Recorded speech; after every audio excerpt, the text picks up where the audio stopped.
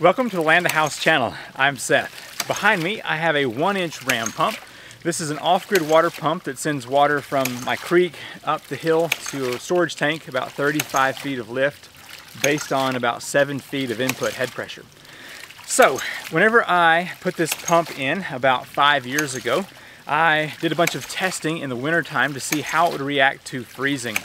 And this year, when I turned the pump on, I realized the air that was in the pressure tank started to uh, leave the tank quicker than normal. And the pump started to hit hard. Now by hitting hard, that means the uh, ram pump does not have a cushion of air inside the pressure tank. And so every time the water hammer hits, the whole system jars real uh, violently. I'll show you that on my drive pipe and delivery pipe here in just a moment. What happened was the cap on my pressure tank developed a small crack and it was letting all the air out. Well now that crack has become a lot larger and there's no air in this pressure tank and so the system is hitting really hard. Let me show you that real quick. First of all, you can hear the drive pipe is making a cracking sound all the way up.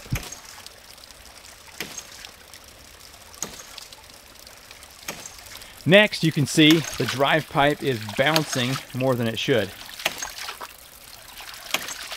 And then another sign that's really indicating of uh, hitting hard is the delivery pipe jumping. That shouldn't be.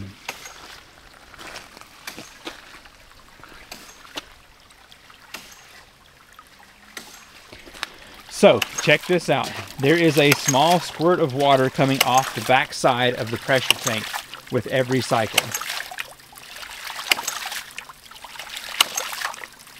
So that means there is a crack right here on the tank and it's letting a burst of water out, which means it was letting out a burst of air every time it was hitting before that. So let's test out something here. I close this delivery. Let's go ahead and also close the drive pipe. If I can let out some of that water.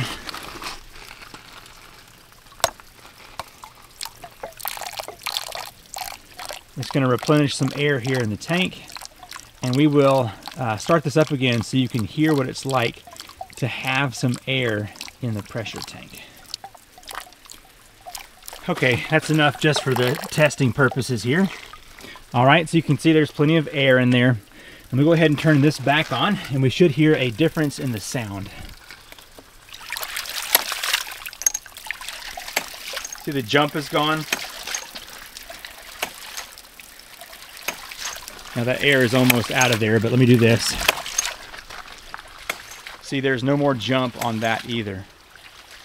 But as soon as all the air escapes from this tank, pressure's almost gone. I'm seeing some jump occur. Now I have four different sizes of ram pump available, links in the description down below, both the pre-assembled and the do-it-yourself kit.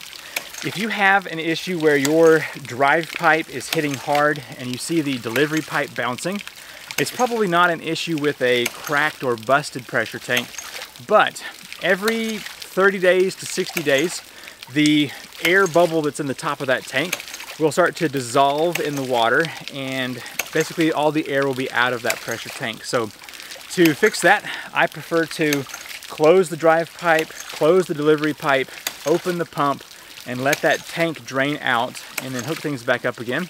And you should be good to go for another 30 to 60 days of that pump running nonstop. And that will keep that uh, water hammer from being hitting too hard and also have a better flow rate out the top. Okay, to fix this problem, I'm going to be cutting off the top of the tank and then putting a new cap on here. And that should fix us up here for this pump to continue running for the rest of the season. There's enough pressure being lost up here. I'm surprised this pump is still even running. All right, let's go ahead and remove this cap. Let me turn off the delivery going uphill. Turn off the drive pipe. And now I need to relieve the pressure here on the pressure tank. Let that drain out for a bit.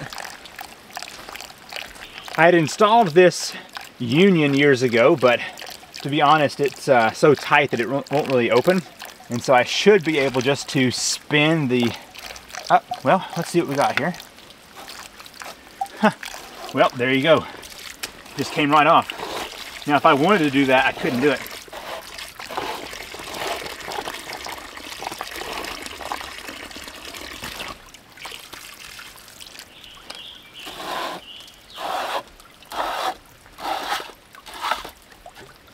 Right, there we go. I think this piece will stay down here. Very cool. All right, let's head back up to the house and uh, replace this cap that is busted.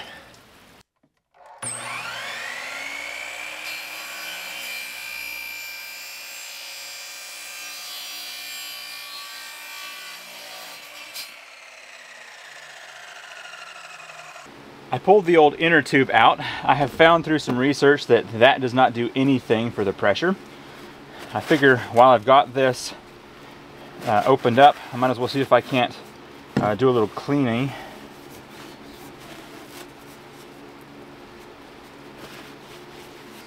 I'm interested to see how well this pump performs with a cap on the pressure tank that is working properly because this cap had the potential of being busted about two years ago whenever I did my full winter time test. So anyhow, we will see how well this thing does here in, I don't know, I might give this 30 minutes to make sure it's totally cured.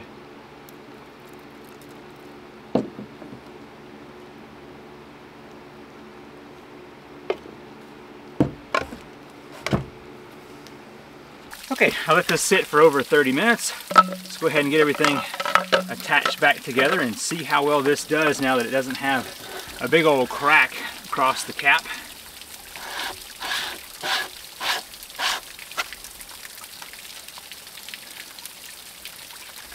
All right, hopefully that's tight enough on that.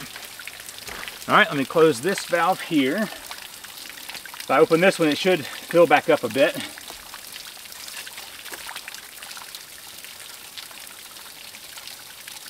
Yep, so about right there. Looks like it's holding pressure a lot better this time.